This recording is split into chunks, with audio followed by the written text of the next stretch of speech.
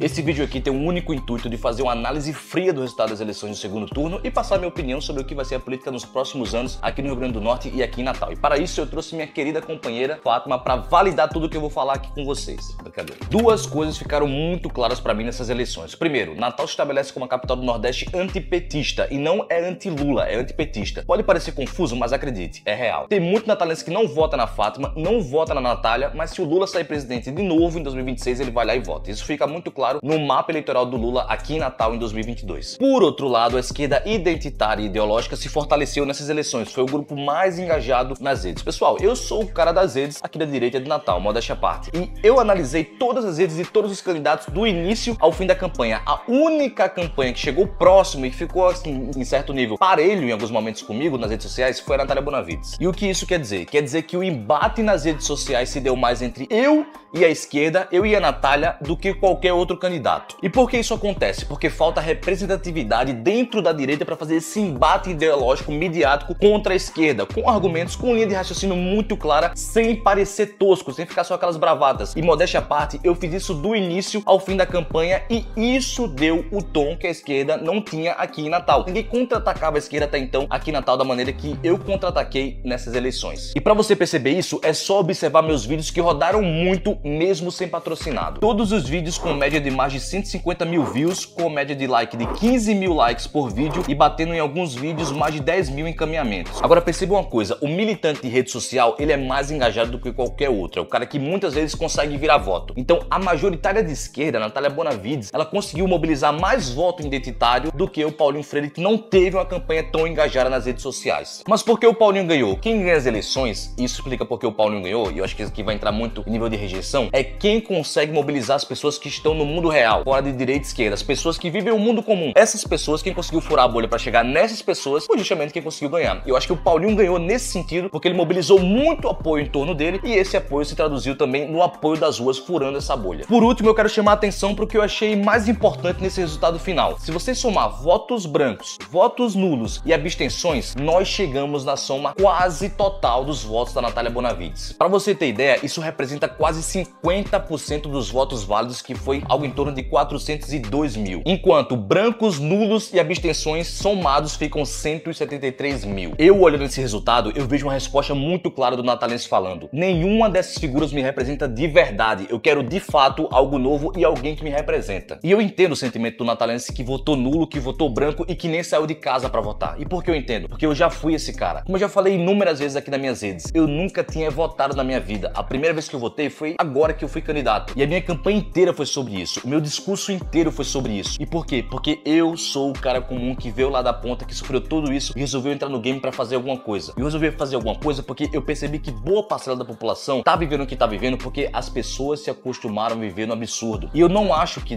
deve ser o caminho a gente se abster de exercer cidadania. A gente tem que exercer cidadania. Tanto que meu principal projeto é sobre isso. Então eu resolvi entrar nesse game para de fato propor algo diferente. E toda a minha atuação até agora, até a questão de abrir mão de privilégio, de abrir mão de aumento de salário, é sobre isso. É sobre dar o um exemplo para ver se a gente consegue trazer essas pessoas para dentro da política e para que elas comecem a exercer cidadania e que a gente não fique nas mãos das mesmas figuras, que a gente não fique refém das oligarquias e não fique refém da esquerda. E todos esses agentes que você odeia, que você não vai sair de casa para votar, eles só são grandes porque você se absteve de exercer cidadania. Enquanto você está se abstendo de exercer e de fazer parte da mudança, ele está comprando um tanto de gente que está fazendo você pagar o preço pelo voto comprado dessa pessoa. E foi isso que eu não quis aceitar mais na minha vida. Então, se tem uma missão que a gente tem para os próximos anos, e eu falo nós aqui, porque não sou só eu, são vocês também que acreditam em mim. A gente tem que resgatar essas pessoas, tem que dar de volta o senso de missão e o orgulho dessas pessoas se sentirem natalenses e de se sentirem potiguares. O cidadão natalense e a família potiguar não pode parar de exercer cidadania,